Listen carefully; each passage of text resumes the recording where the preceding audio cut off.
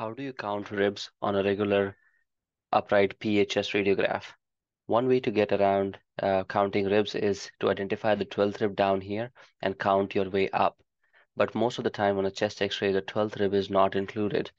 So the other trick to do that is identify the anterior aspect of the first rib, which is easy to identify because the posterior aspect of the first and second ribs are crowded here. So once you identify the anterior aspect of the first rib, you can identify the anterior aspect of the second rib and the third rib and try to trace them back and and find the posterior part of the same rib. So out here, the first and second ribs are really crowded back here. So if we try to trace that back, it gets difficult to trace it back. Now we go a step down, identify the anterior aspect of the second rib right here. Try to trace that back. It becomes difficult because the first and second ribs are really crowded posteriorly.